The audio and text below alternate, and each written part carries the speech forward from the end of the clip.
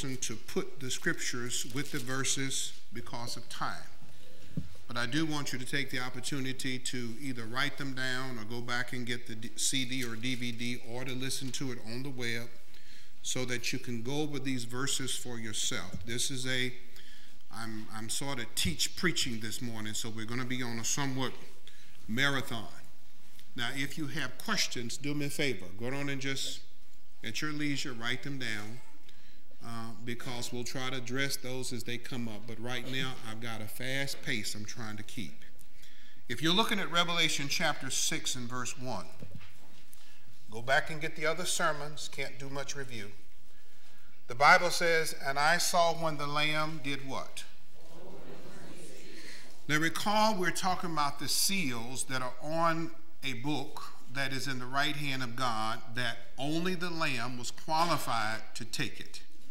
But he's also qualified to not only taking it, but also to open it. Those were the, that was what was in the hand of God on the throne as John wept because he didn't see anyone able, qualified.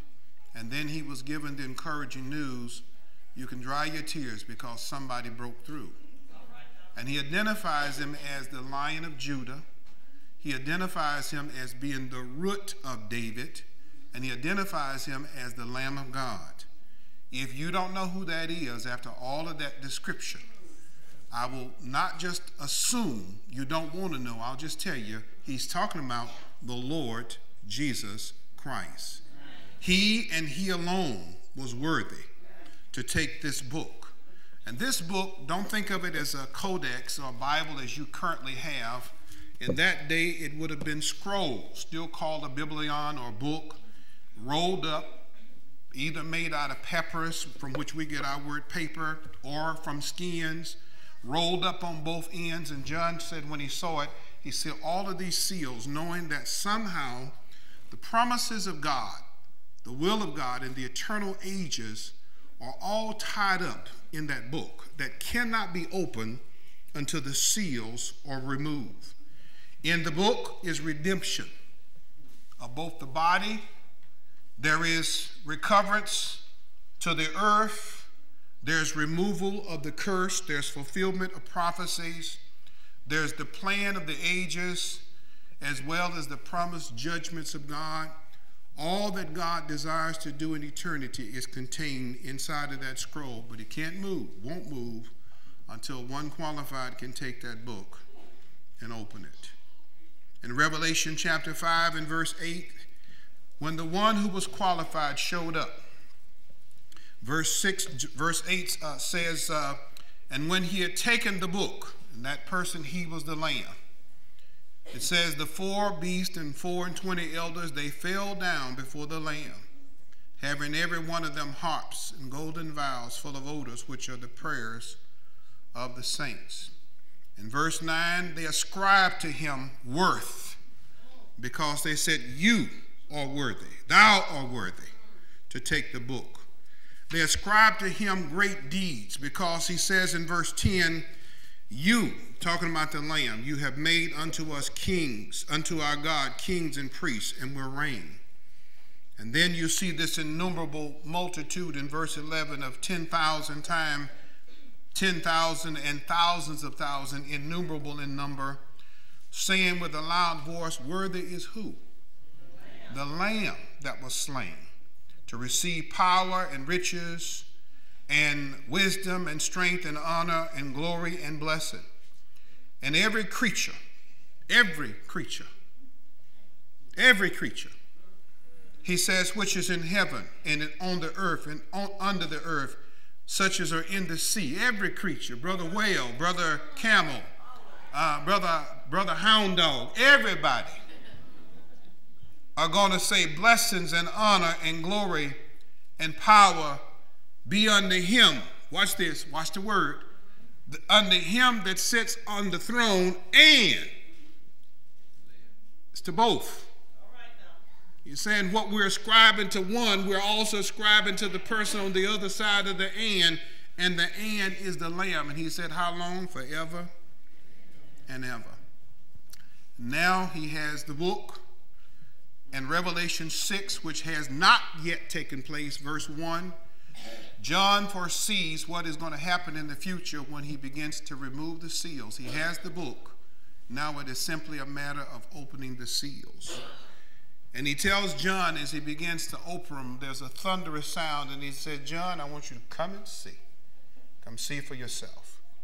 Now, the opening of the seal begins unstoppable events that are described by the prophets. Look in Daniel chapter 12 and verse 1.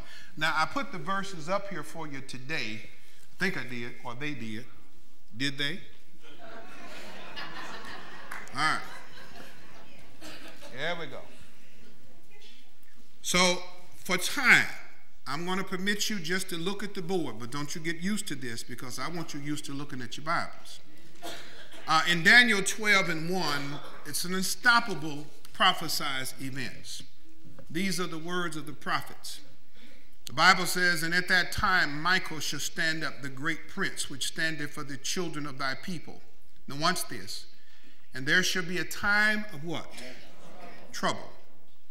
Such as never was since there was a nation, even to that same time. And at that time thy people shall be delivered, everyone that shall be found written in the book of life. Keep in mind there shall be a time of trouble such as there never was. Never has been a time like this. In Jeremiah chapter 30 and verse 7, Jeremiah says, Alas, for that great, for that day is great. He's talking about a period of time, so that that, that none it is like it. Even it is even the time of Jacob's trouble. A particular emphasis upon Jacob, the nation of Israel. And because they would not accept their Messiah when he came the first time, there is a punishment handed out to the children of Israel uniquely. He came to his own, and his own received him not. And they even said, We'll not have this man rule over us. They even said, His blood be on us and on our children.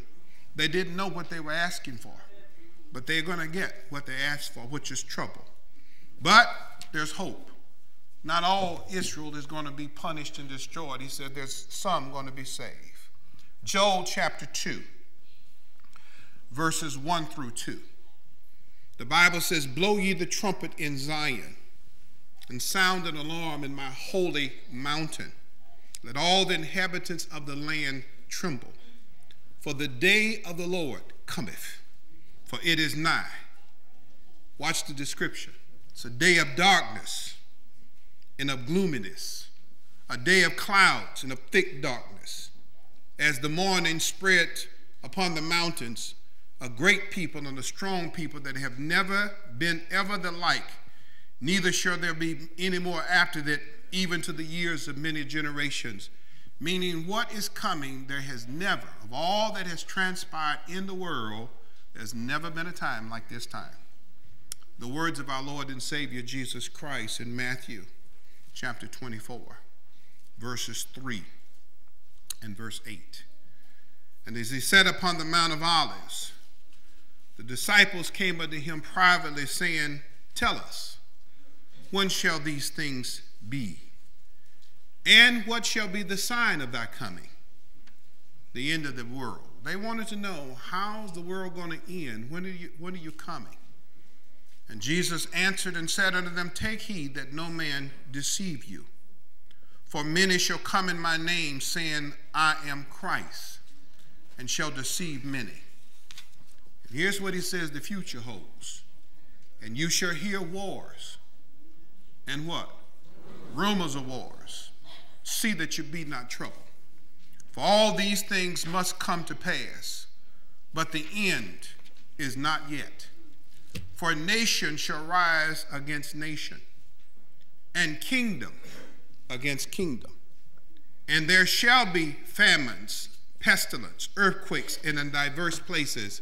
And then I have this underlined all of these are the beginning of sorrow just the beginning of it. When the Lamb opens this book, this particular prophesied time frame is going to start. It is called the Great Tribulation. It is called the time of Jacob's trouble. Daniel would call it this is the 70th week, that last week before God's plan is fulfilled. Go back with me in Revelation chapter 6 because the prophecies tells you the general idea of what's coming. Revelation is going to give you some general and specific details of what all is included in this day. Anybody reading this ought to run. Anybody hearing this ought to run. If you came in here lost, and if you go out the same way you came in, you haven't heard what God wanted you to hear. And I trust and pray you won't look on me, think of what he says in his word. He opens the first seal. Come and see. Seal number one. He said there's a white horse. Put my chart back up. You're supposed to work with me, camera people. Come on now. We got to work this out. I tried, I got Brother Walter to do some artwork for me. I'm trying to get my son to work with me here. Between the two of them, we're going to get through this. We're picturing this time as I'm going to call it the seventh week. You can call it the Great Tribulation, the time of trouble. You're talking semantics. It's the same thing. It has a beginning when the rapture takes place. The church is out of here because the church has not been appointed to wrath. And I, and I don't want to get sidetracked on talking about what's going to happen to the church when we meet him in the air. That's another time. The focus in Revelation is what is going to be happening to the world and on this earth during this period of time. And as the Lord uh, opens that first seal, and this is how it plays out in Revelation, I'm giving you a big picture. There are seven seals to be opened. And then after he opens the seventh seal, which is right here, that leads to seven trumpets. And then after the seven trumpets, there's going to be seven vials. And inside of each and every one of these is specific details that he wants us to know about what's going to take place in that time. All I can tell you is after reading it, you don't want to be here. He opens up the first one, which is called the seal with the white horse, and then he follows in succession. We're going to walk through this chart as we look at seal one. Revelation chapter 6, verse 2. And I saw and behold a white horse, and he that sat on him had a bow, and a crown was given unto him, and he went forth to conquer and to conquer. Now, don't com- confuse this white horse with the Revelation 19 rider, two different riders. The one in Revelation 19 is coming victoriously. The one here in Revelation 2 is going out to conquer the world, and basically, he's going to try to do it through a means of peacefulness.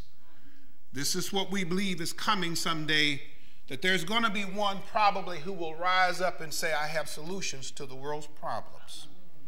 And through his subtleties and through his ways, he's probably going to bring an element of peace. Probably can handle the terrorist situation, probably going to handle the Middle East situation. It's going to be a peace that is called a false peace. As a matter of fact, Thessalonians says when they say peace and safety, then sudden destruction because it's going to be a peace that will be false. This person is going to present himself as a conqueror, a Messiah, an Antichrist, who basically has this world's best interests at heart, but then he'll turn and then he'll show his true character. That's the first rider. Then he says, I saw the second rider, the red horse. He says in verse 3 Seal one, white. Seal two, when he opened the second seal, I heard the second beast say, Come and see. He said, There went out another horse that was red, and power was given unto him to take peace from the earth, and that they should kill one another. This is wars, those rumors of wars, that warfare that will go on before nations. And as you can think about all the wars that have transpired on the earth, They will be nothing to compare to the turmoil that will be between people in the time to come. The question is is the world going to grow towards peace? No. It's actually headed towards war. And it's going to be nations against nation and people killing each other with swords, putting each other to death through violence. Number five, verse five, third seal. Number three, he has a, a rider who's on a black horse, and he has a pair of balances in his hand, scales, weighing out the produce and the cost. And he says, I heard a voice in the midst of the beast say, A measure of wheat for a penny, three measures of wheat for barley and a penny, and see thou hurt not the wine and oil. Those numerical numbers tells me that things will be scarce. Produce will be scarce. And it's going to get to where the cost of it is going to be out of bounds. When I was a kid, I'm not old, I'm from the country. Gas was 19.9.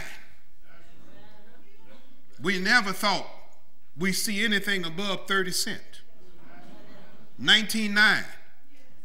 Now, it's all right if you got the money to pay for it. But what do you do when you don't have the money to pay for it? And I, I might not be able to buy gas. The problem is going to be when you don't have the resources to buy food. Now, we've watched pictures of famine in many parts of the world. And I've never seen a picture that I'm not touched, not just emotionally, but to try to do something if possible by some children that are starving or people with big bellies. It hurts to see this. But that's localized. He's talking about on a worldwide basis. That's what he's talking about. Verse 7, rider number 4. And when he had opened the fourth seal, he sees a, a pale horse. And he says, Come and see. And the one riding this one is called Death. Hell followed with it. And power was given unto him over the fourth part of the earth.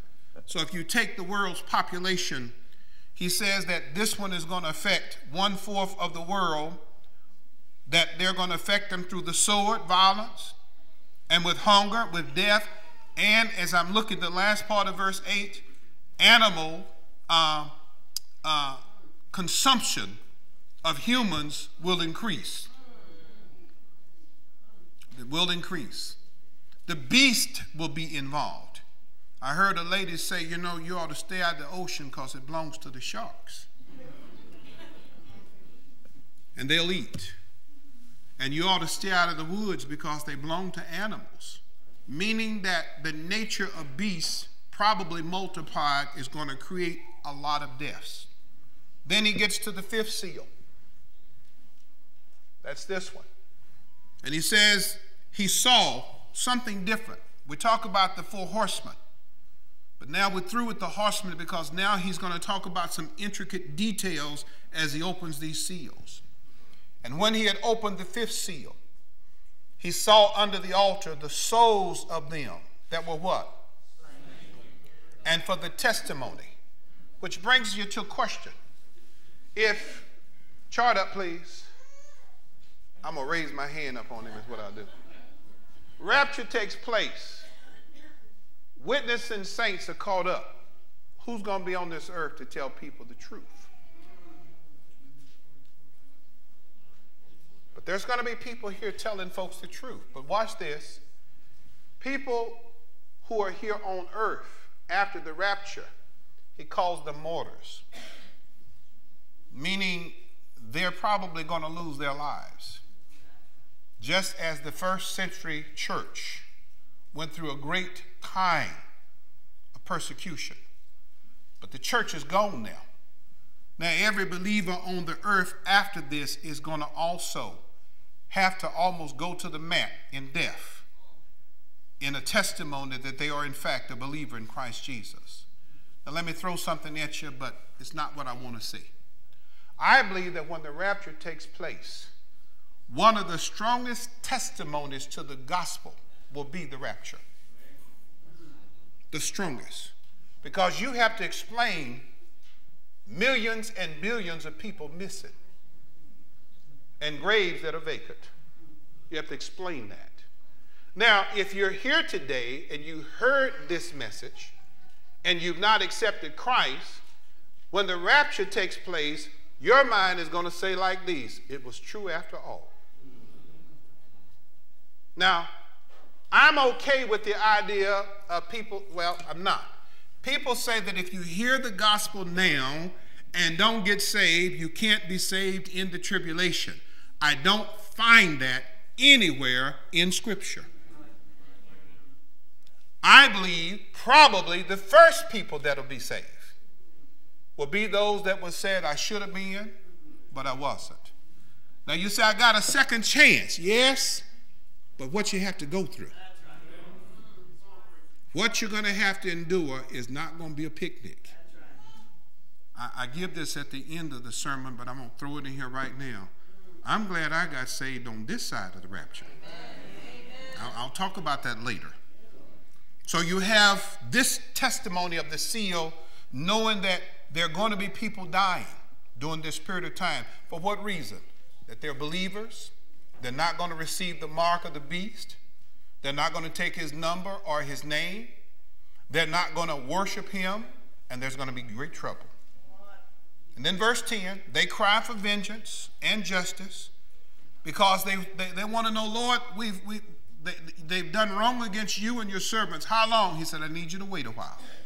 Now, verse 11, and I believe this group, watch me now, I believe this group is going to be martyred in this first part. That first part. Because he says in verse 11, he said, I need you should rest a little season until your fellow servants also and their brethren should be killed as they were killed should be fulfilled. Meaning there's more coming at this end. Because there's going to be believers all the way through here. But I repeat, it's going to cost you something to be on this earth and name the name of Christ. Verse 12, seal number 6.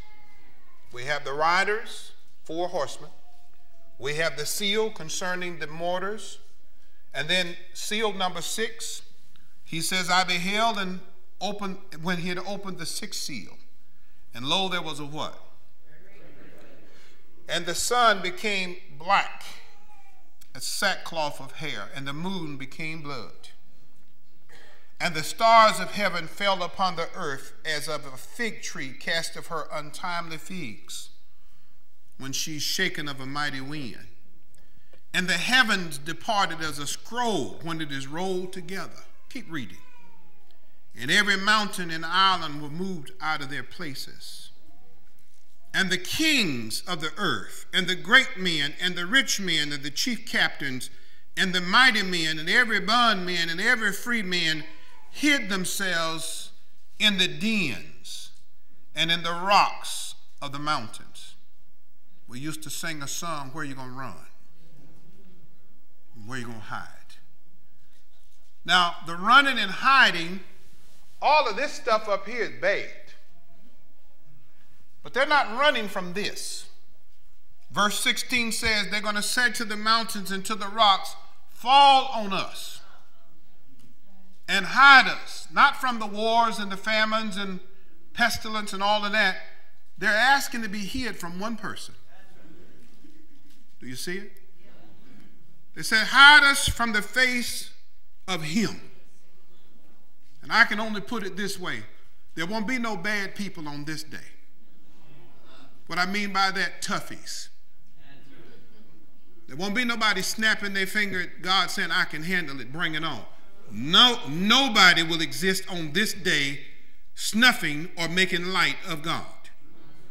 There won't be anybody making jokes or humor or comedy about God. There won't be anybody cussing with his name on this day.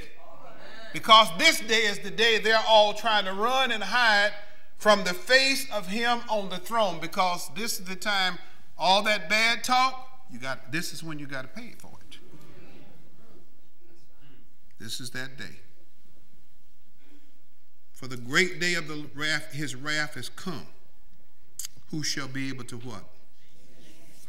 You have six seals that have been opened. There is a seventh seal, but the seventh seal does not open until Revelation chapter 8 in verse 1. You see it when it opened the seventh seal? But in between what you read in chapter 6 and chapter 8, there's an interlude. There's data that is given to us to say, hey, listen, all of this is going on, but let me tell you another story. And the story concerns two groups in chapter 7. Group number one, God said, I don't want you to hurt the earth, hold back everything, don't touch nothing yet. Don't hurt the water, don't hurt the sea, don't hurt land until I do one thing. I got somebody I need to seal. That word seal means I need to let them know I am theirs and they are mine, ownership. The sealing also says I'm providing them with divine protection so that this group will not be hurt or harmed by what I bring. They won't be killed by what I bring to the earth or from the Antichrist who will fight against them. I'm going to protect them. And then notice who is this group, this first group. Verse 4, he says, I heard the number of them which were sealed. And there were sealed a hundred and what? Now, you've lived long enough in your community that the people have asked you if you part of the 144,000. Now, I hurt, and I have to tell you that I hurt because next to close to where I live is a watchtower group. And every time I drive by there, and they come by my home, and I, I entertain them at the door. And I, I'm not one of those that tell them go away. I, I ask them a question. Listen, you have something you believe you want to share with me, right? Yes. Well, I'll tell you what, I'm going to give you 20 minutes to tell me everything you want to say, and then give me 20 minutes to tell everything I want to say. And I promise you, I won't interrupt you, and I don't want you to interrupt me. So for 20 minutes, I'll just listen.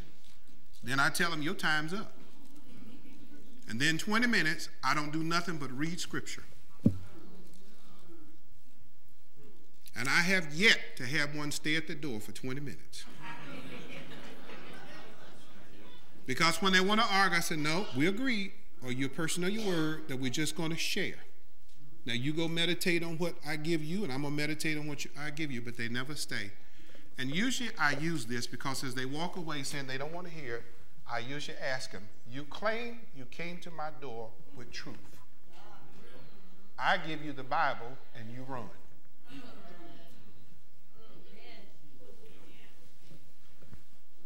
So why are you running from the Bible? Now, that's my witness to people because I do believe they need to be testified to. Now, don't get into arguments about Christmas and and, and pledging and all of that stuff and birthdays. That's not where I go. I read every verse I have underlined in my Bible about Jesus. I don't talk about all that other stuff because it doesn't matter. See, the problem is if you're not straightened out with Him, you got problems. Now, watch this. Who is this group?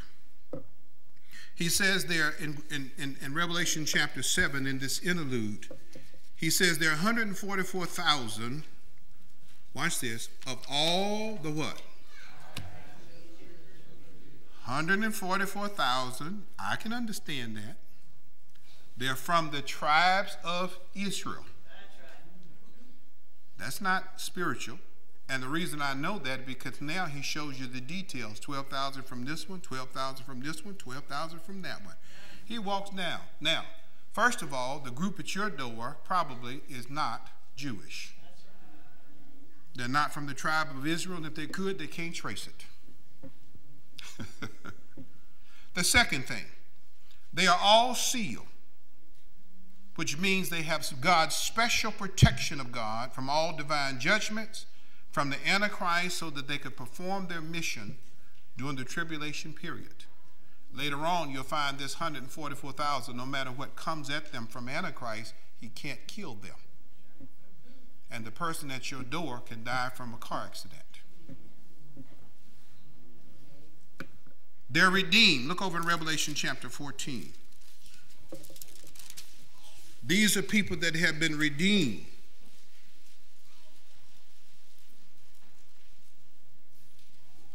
They sang, verse 3, they sang as it were a new song before the throne and before the four beasts and the elders, and no man could learn that song but the 144,000 which were redeemed from the earth. They're redeemed. And if you're going to be redeemed, you can only be redeemed by the blood of the Lamb. Notice some other things about them. Uh, they're going to, uh, these are those that are not defiled themselves with women.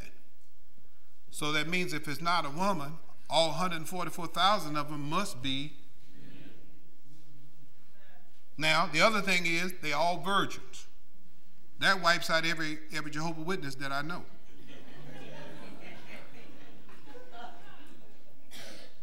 because these are the specifics concerning this group. Now, who I think this group is, it's what it says 144,000 Israelites, 12,000 from each tribe, been sealed by God to go and be a witness to the world during this period of time. Put me back during this period of time, they're going to go out and be a flaming witness to the Lord. But it's going to cost them something. They're going to suffer, but they can't be killed. I can't find anything to tell me whether they are or not. But I'd like to think that this 144,000 have a prototype in the Apostle Paul. Could be bitten by a serpent and not die protected. And if I if he's if he if they're going to be anything like him, just imagine what will happen on this earth when you get 144,000 potential witnesses. Potential on the earth like the apostle Paul going everywhere. And if if if this is that group, then the world in spite of all the seals judgment that God is bringing I want you to understand he's still showing mercy and grace. Even during that time, God is making a way for those who want to be spared from what's coming. Someone says, God is mean. He's telling you what's coming, and he's trying to redeem you before you get there. You say he's harsh. Well, he's already told you, I'm going to judge you. Now, if you accept that he's God and he's going to judge, get right before that time comes. Be on the right side of the team is what you want to be on. And so we have this group of people that are there. By the way, we are gone. So I'm not worried about being one of the 144,000. I'm gone. That's the last group I want to be in is 144. Because that means you here doing the tribulation. Go back to Revelation with me chapter 6. Are you with me, church? There's a second group in this interlude, and that group is found in verse 9. And I think it is because of the first group that we get the second group. Because he says, And after this I beheld, and lo, a great multitude, which no man could number, of all nations and kindreds and people and tongues stood before the Lamb and before the throne and before the Lamb, clothed with white robes and palms in their hands. And they cried with a loud voice, saying, Salvation to our God, which sitteth upon the throne, and unto the Lamb. What you ascribe to God, you have to ascribe to the Lamb. John 5 says, if you're going to honor the Father, you have to honor the Son. He says, and all the angels stood round about the throne and about the elders and the four beasts uh, and fell down before the throne on their faces and worshiped God. In verse 13, one of the elders asked the question to John. So, where do these come from that are arrayed in white robes? And when did they come from it? John said, Sir, you know, when you don't know something, fess up. He said, I don't know. And he said to me, Watch this. These are they which have come out of what? Meaning that this is a group. Come back with me, Mr. Cameraman. This is the group that is going to witness during this period of time, and a multitude of people are going to be spared from the wrath of God, which is what he's trying to do.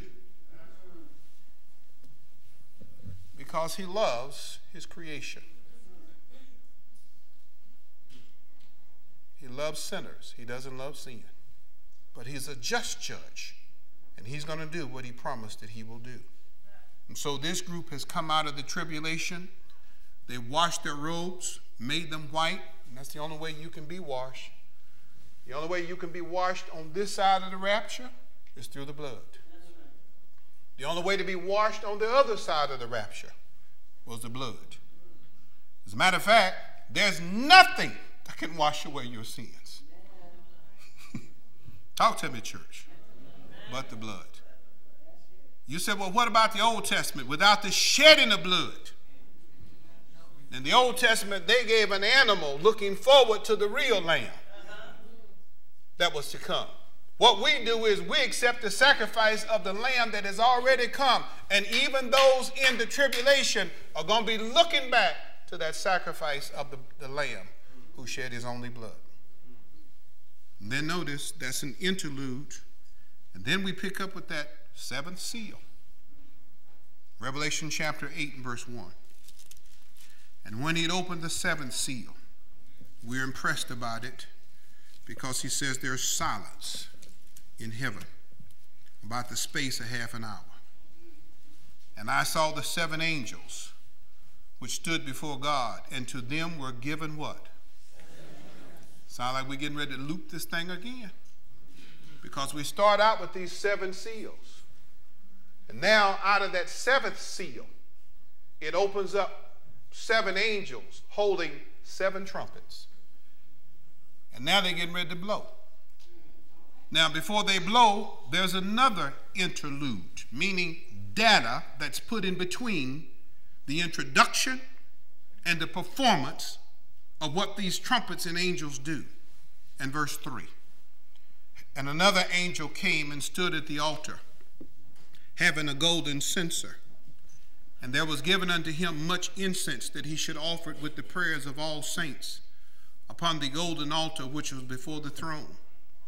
And the smoke of the incense which came up with the prayers of the saints ascended up before God out of, out of, the, out, out of the angel's hands. And the angel took the censer and filled it with the fire of the altar and cast it into the earth. And there were voices, thunders, and lightnings, and earthquakes. I want to talk about prayer for a moment. Because he's talking about what the saints now and then I should be doing is praying. I'm going to talk to you about prayer. This is praying time. You say, well, how, I, I, Lord, I'm struggling. Talk to him.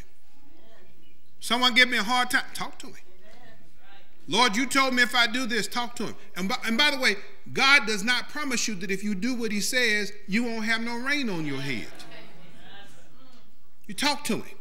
Lord, I'm, uh, Paul said, Lord, uh, uh, I got a problem here. With, he, take it away, take it away. He said, no, I'm not going to take it. But he talked to him. What I'm saying is, tell him all about your troubles now. And my prayer, and it should have been my prayer, and should be your prayer, is that as I'm thinking about what is coming, my prayer is these words Thy kingdom come. Come on, God, let's get this thing over with. And this is when he says, prayers answered. We're praying for deliverance. Now, someone said they want a breakthrough. I'm not worried about a breakthrough on earth. You might break through tomorrow, might be underneath the next day and need another breakthrough. I'm not talking about on earth. I'm talking about up yonder. And so we're praying, Lord, how long? When? Uh, God, help me. When you're doing what He says, you have a right to pray to Him. But the prayer ought to be the answer to all this world's troubles. You know what will handle San, uh, uh, San Bernardino? Thy kingdom come. That's what will handle it, at least for us, because it means no more of this. And that's when we're going home to glory. And this world can go through what it goes through, but we need to be praying for this to come forward. Revelation chapter 8 and verse 6. These angels just getting ready to toot. Seven angels, which had the seven trumpets, prepared themselves to sound.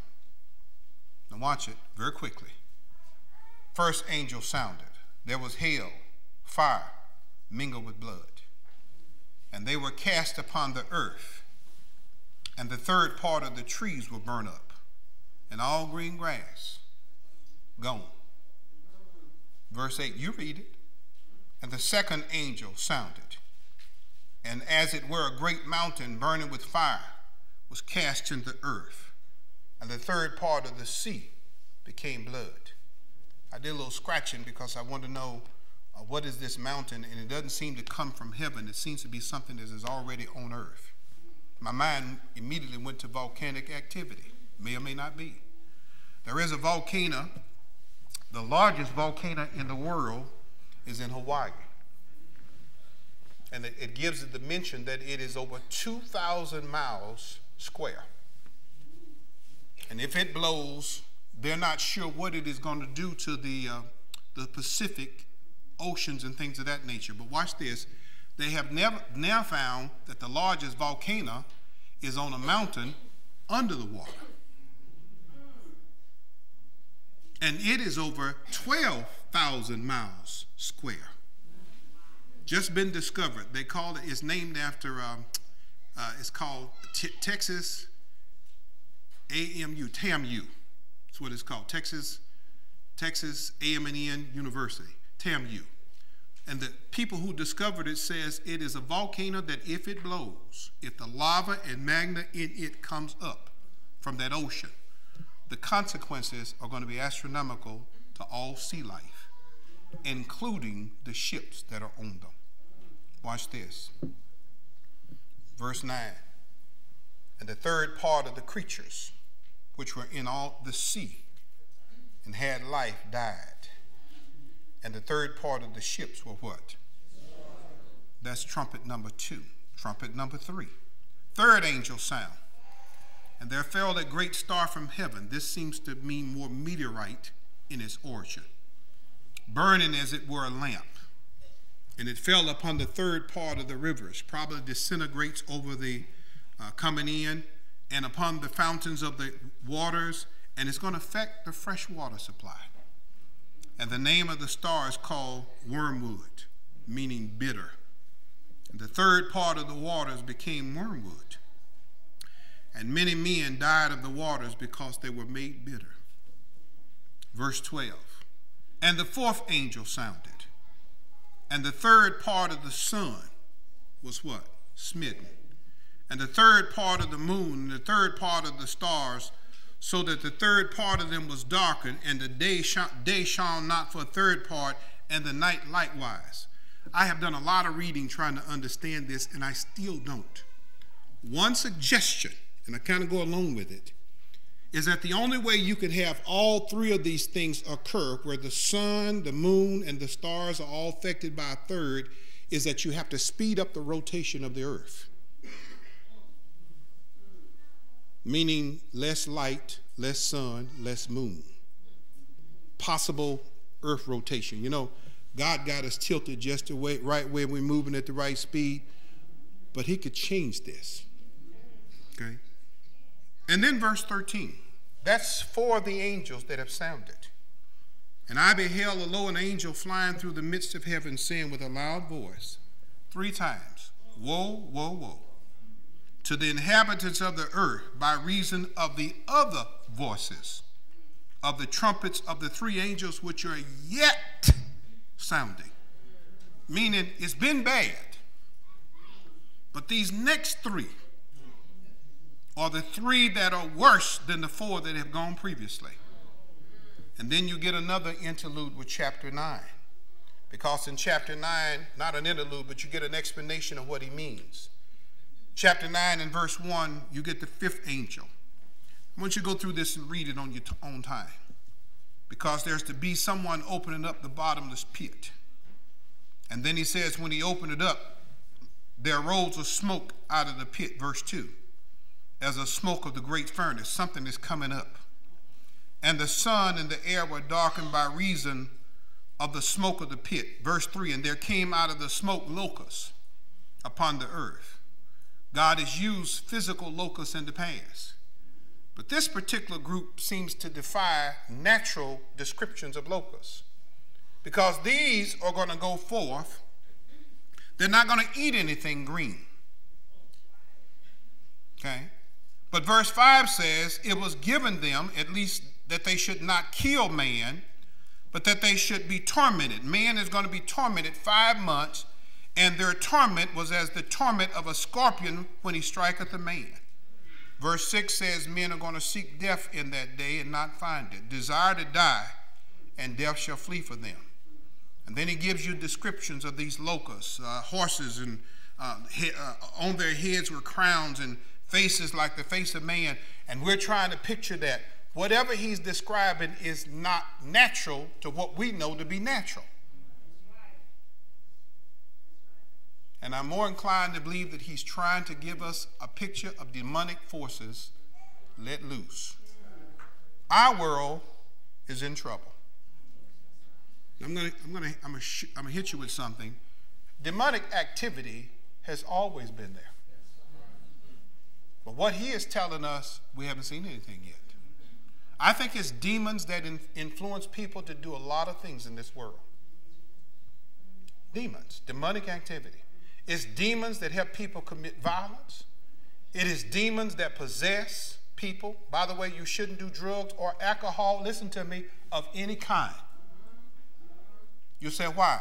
Because drug use, the word there is pharmakias, pharmakias. The word there is sorcery or witchcraft. You say, well, what about alcohol? That's spirits. Because every time you drink, your spirit changes. You're not the same person. And you're allowing yourself to be influenced in other ways. That is why Christians should abstain from anything that's going to make us act crazier than we already are. Amen? We don't need no help. We need all the sanity we can get. Amen? That's why the scripture said, be sober minded. We need all the help we could get. But there is to be a demonic activity, it will increase. And if we are seeing it today, I think it is demons listening working in this world, confusing people even to their gender.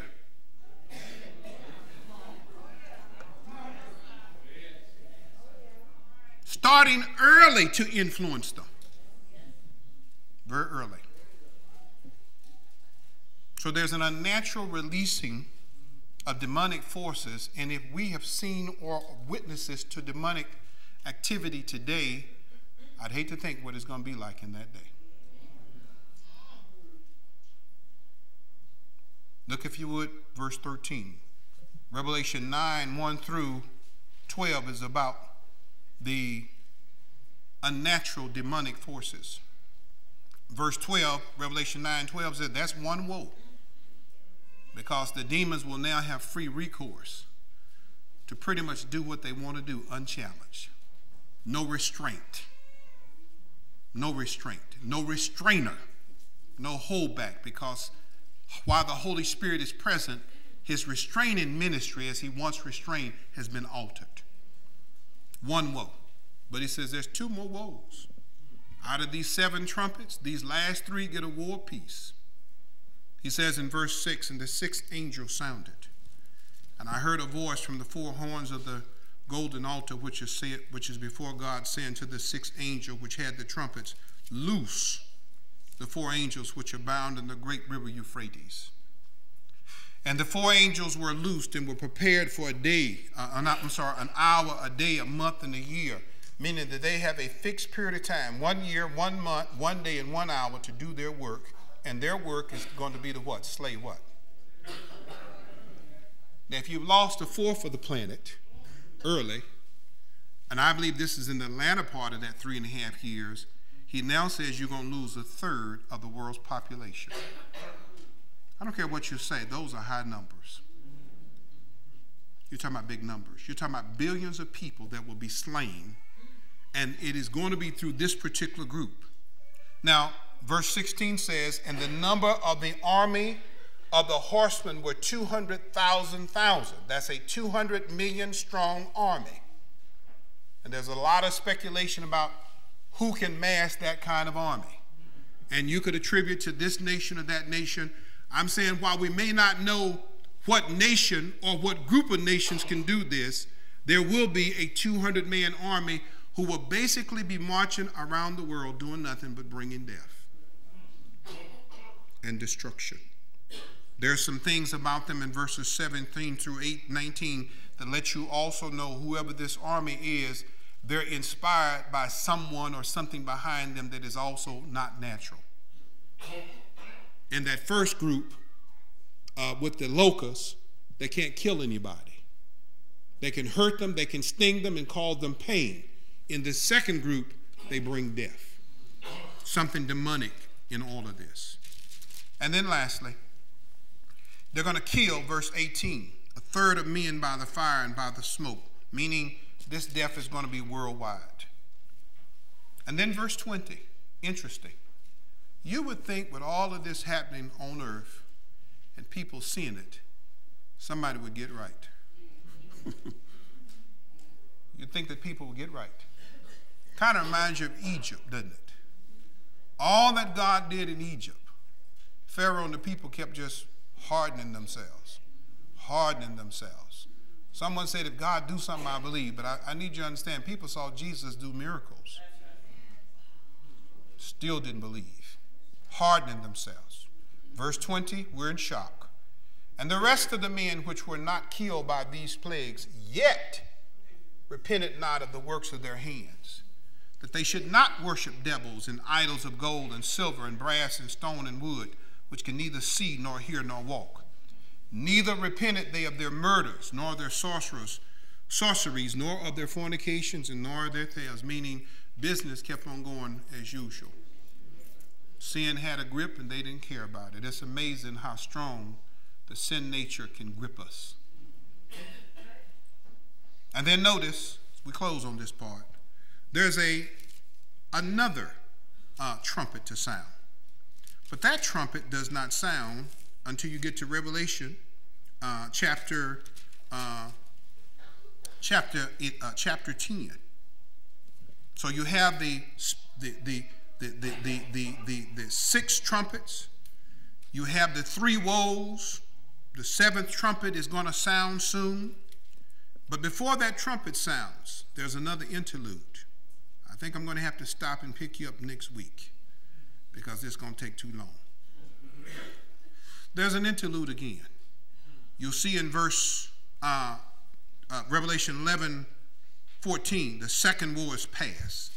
Behold, the third war cometh quickly. And verse 15 says, And the seventh angel sounded. But before that happens, there's an interlude. And the interlude is chapter 11, up until that point. And it concerns two that are prophets. Now, let me help you today. We don't have prophets today. I'm going to help you. As a matter of fact, you don't need prophets today. You have everything you need to know from God already given you. If a prophet jumps up and says, I got a new word, he can't add nothing to this book. Or she, and they cannot take anything away. But in this day, we're going to get prophets, and watch this, their prophetic office is going to be validated because they're going to do some things. There are two. Oh, and you can study this book all day long and try to figure out who are these two witnesses.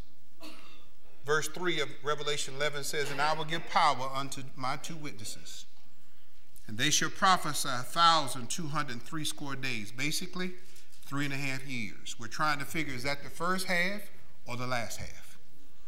He says, and these are the these are the two olive trees and the two candlesticks standing before the God of the earth, and all kind of discussion about who they are. Is it is it Enoch? Because you know he didn't die. Or is it Elijah? Because he went up in the whirlwind. Or, or, or, is it Elijah and Moses? Because both of them were standing on the Mount of Transfiguration. Here's what you're going to have to do with this. He doesn't tell you who they are. And by the way, you don't want to be down here when they're here anyway.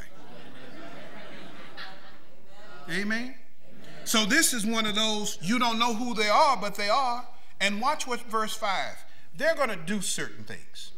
It is for judgment, yes, But through judgment, God is trying to get the attention of the observers. This uniquely is what is going to happen in the city of Jerusalem. It says, And if any man will hurt them, fire proceedeth out of their mouth and devoureth their enemies. If any man would hurt them, he must in manner be killed. Kind of reminds me of a prophet in the Old Testament when they went to go get him, and he says, Well, if I be a man of God, let fire come down from heaven. Boom, they were gone. Verse 6 says, They have power to shut heaven. That sounds like Elijah. That it rain not in the days of their prophecy. They have power over water to turn it to blood. That sounds like Moses. But it don't have to be either one of these. Whoever these prophets are, they will be able to do these things. They're going to smite the earth with all plagues as often as they will. They're going to keep doing series, just like Egypt, over and over and over flies and lice and frogs and pestilence. And you would think the whole nation should have said, Let's get right, but they didn't do it. And when they shall have finished the testimony, their testimony, the beast that descended out of the bottomless pit shall make war against them, shall overcome them, and kill them. And then what's going to happen is, verse 8 says, Their bodies lie in the street of the great city, which spiritually is called Sodom and Egypt. But it says, I want you to know where I'm talking about. It's the same city in which our Lord was crucified. It's, I'm talking about Jerusalem. And you would think that a nation seeing these wonders would get right, but they didn't. And then says, when they, when they find their dead, look at verse 9. And they of the people and kindreds and tongues and nations shall see their dead bodies three and a half days. And they're so cruel, they're not going to even bury them. And verse 10 said, they're going to rejoice, make merry, send gifts. Merry Christmas, y'all. They're going to send gifts to one another because the two prophets that brought all of the havoc on the earth are now dead. They're gone. Verse 11. Don't turn the channel off. It says, And after three days and a half, the Spirit of life from God entered into them and they stood upon their feet. If there ever was an opportunity for people to get right with God, it should be now. Because you just saw two dead people in the street stand up and validate that they were of God. And then notice, not only see them, verse 12 says, and they heard a great voice from heaven telling these two, come on up here. And they ascended up. I think just sort of floated on up, got on up out of here. And the enemy with CNN, MSNBC, one, one Fox, uh, one News, uh, all of them watching them go up, mouth wide open. The problem is nobody's getting right. all of this, God is trying to do something. He says, and now the second war is over. You got rid of two woes, seven trumpets, Three of them bad, two of them gone. Last one. Look, if you would, in Revelation 11 15. The Bible says, And the seventh angel sounded, and there were great voices in heaven saying, The kingdoms of this world are become the kingdoms of our Lord and of his Christ. And he shall reign forever and ever. As you're reading that, you're trying to see, well, where's the woe in here? Keep reading. And the four and twenty elders which fell down before God on their seats, they fell upon their faces and they worshiped God. Keep reading. Saying, We give thee thanks, O Lord God Almighty, which art, wast, and art to come, because thou hast taken to thee thy great power and hast reigned. And the nations, this is what perplexes me, were angry, mad with God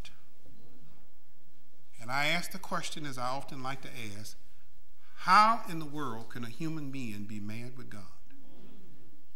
And yet they are. They're so angry that they ignore him. They ignored his love when he gave his only begotten son. And now they're ignoring his wrath when he's trying to chase them in the right direction. How in the world can a people get that low?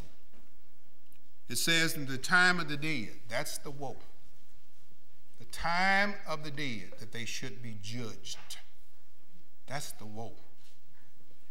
And I say this for anybody who is not saved this morning. You will have to stand before the Almighty Judge. Now, here's the issue. On this side of the rapture, you don't have to see him as a judge who will put you in hell. On that side, if you see the judge as a judge, you're in trouble. That's the woe. All that has taken place, this is the one you don't want to take place because now there is no hiding place. I asked a few questions as I closed. Let me read these. I wrote them down. I had to think about them. A few things I wrote to myself. Thought these things out loud. I had to say them. First of all, after I read something like this, I got to stop and I got to praise Him. I have to praise Him with all of my soul because I now understand He's worthy. I want to praise Him now and be in practice for when I get up there then. Might well start doing now what you going to do then. So you want to be praising Him right now because it carries over into eternity. Do you know, had it not been for the Lord, praise Him for His goodness, praise Him for His mercy, praise Him for His love, praise Him for His wit, uh, uh, wisdom, praise Him for His patience and long suffering with you and I. Just praise Him. You have every reason in the world to praise Him. Oh, yeah, He fed you this morning, but He fed people that don't even praise Him. Find the reasons to praise Him that have to do with your relationship with Him. Then, secondly, I want to thank Him. A little personal, I want to thank Him for my salvation. I want to thank Him for your salvation. I, I want to thank Him that I was saved and you were saved in due time. I want to thank Him for knowing what the future holds and being willing to share it with you and I. And then application. I'm living in expectation. All of this is going to happen. Every bit of it. But there's one part that tells me I have to get out of here before it happens. So I'm living in expectation of that moment. Now, hear me now. How do you want to be found when he comes? I want to reflect on my ability to endure hardship knowing that he's coming. I don't want to be so soft and so touchy so sensitive about things when I know he's coming. You know, if somebody make you mad, don't feel like you got an answer. Just blow it off and just say one of these days. First of all, they might get some grace like we needed it.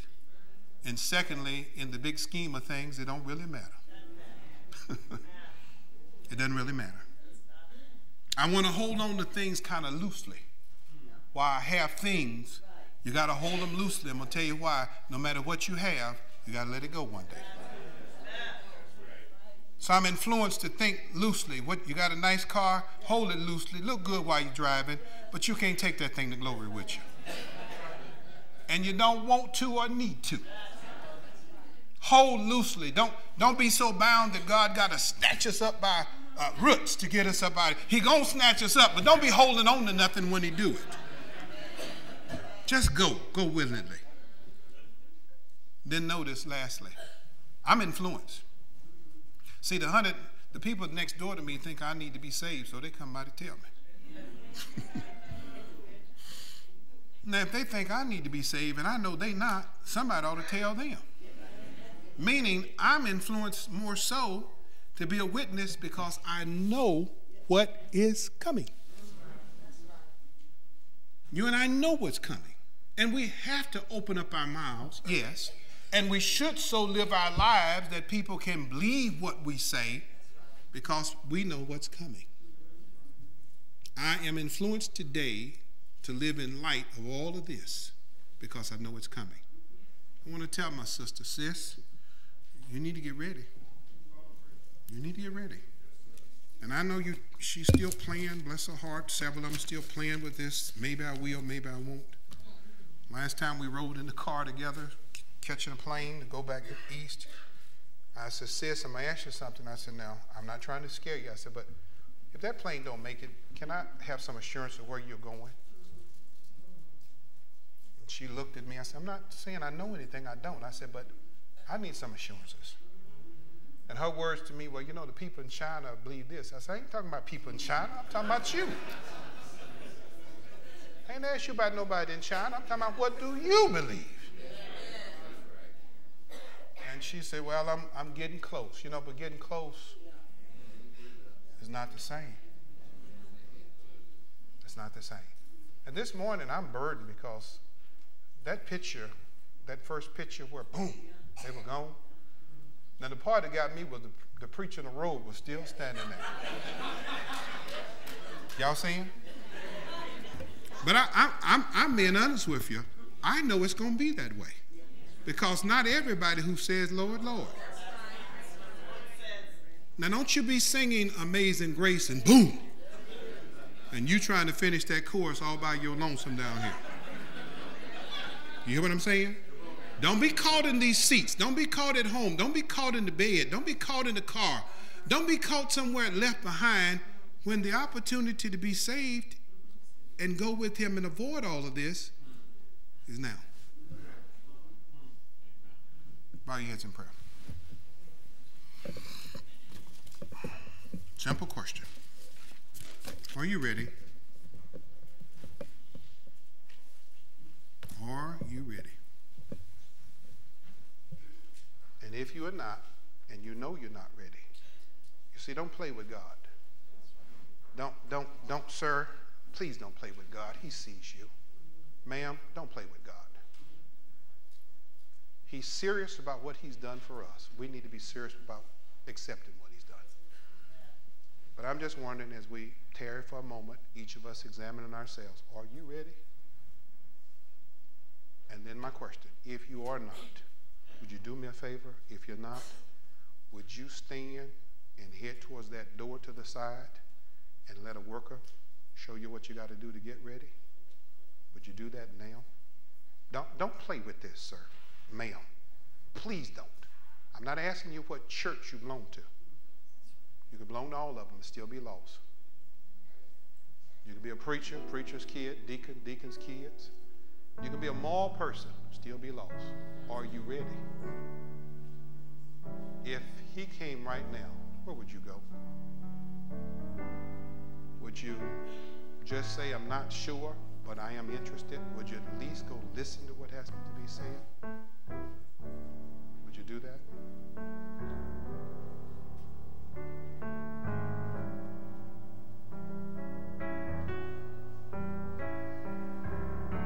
Christians, here's for you. Scripture says, I don't want to be ashamed that is coming. Before him that is coming. Don't want to be ashamed. This morning, is there something you would say, Lord, if you came right now, I'm busted. I'm, I'm vulnerable. And I need to get this right before you come. Would you also make some steps today and decide either at the altar or at the door. Someone will talk to you.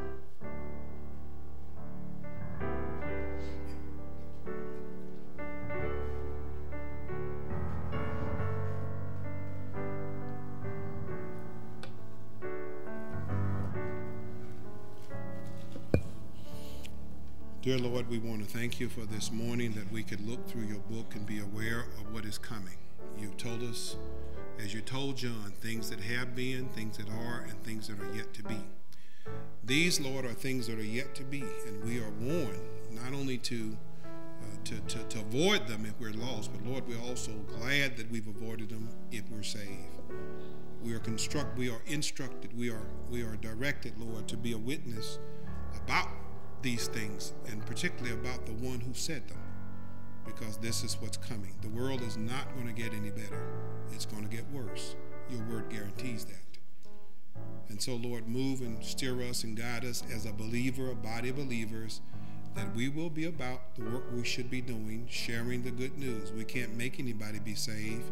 But, Father, it is, it is encompassing upon us that we open up our mouths and tell them what you are willing to do for them. And that is before it is eternally too late.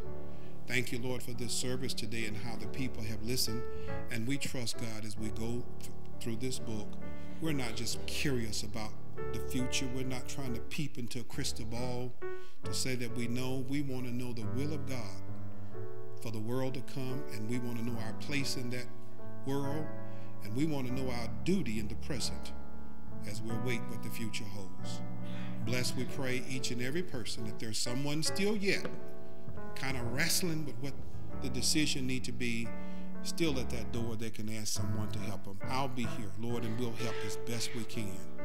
We pray this prayer in Jesus' name and for his sake. Amen. You're dismissed this morning, and again, I'll be here at the altar if you need to see.